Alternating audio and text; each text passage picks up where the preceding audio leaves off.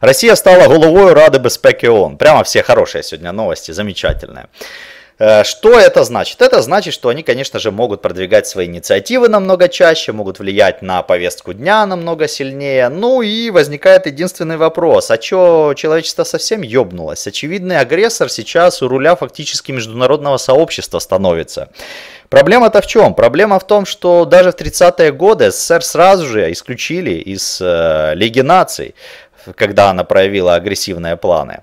А сейчас и этого-то не происходит. Ребята, когда мы спрашиваем себя, научились ли мы на ошибках 30-х годов, то я вам скажу, что мы не просто не научились, мы действуем сейчас хуже, чем в 30-е годы. И наши политики еще хуже.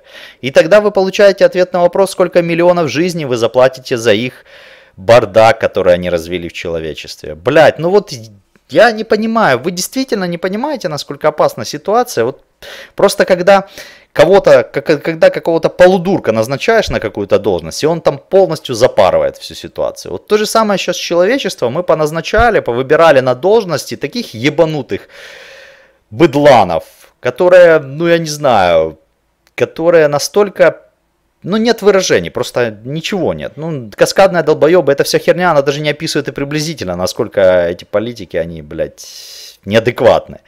И когда они все запорят нахуй, то это же не им платить. Они себе будут спокойно греться там где-то на пенсии и так далее. Это ж миллионами жизней платить каждому человеку. Ну, ну неужели это сложно понять? Я вот не могу понять вот людей. Вы ж простые, э, простые, просто плебс. Вы ж просто для них чернь, грязь. Вы ж будете копырсаться в этой грязи. Они сверху так и продолжат наблюдать, даже если будет еще хуже.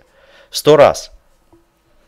Это вам надо заботиться о себе, а не им переживать. И вам, значит, надо о них позаботиться, чтобы их убрать от корыта, блядь, от мирового корыта решений. Чтобы спасти миллионы жизней. Проблема в чем? Проблема в том, что Россия, по сути, это ноль в мировом пространстве. Но Оланд, Меркель и Обама подняли Россию на верхний пьедестал, и теперь вокруг этого пьедестала все крутится, вокруг позиции Путина.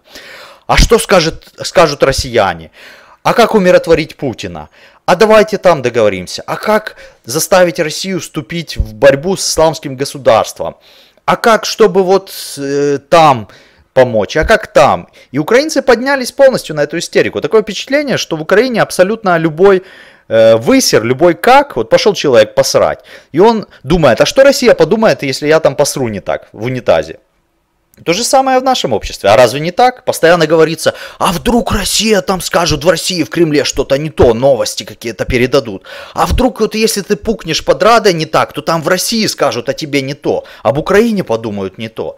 В результате, ну во что превратилась страна?